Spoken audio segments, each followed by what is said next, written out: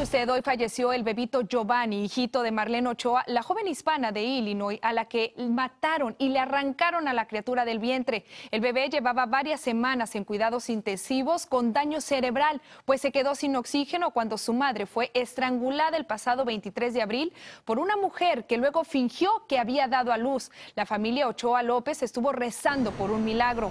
Hoy por lo menos tienen el consuelo de que Giovanni está en el cielo, en los brazos de su mami.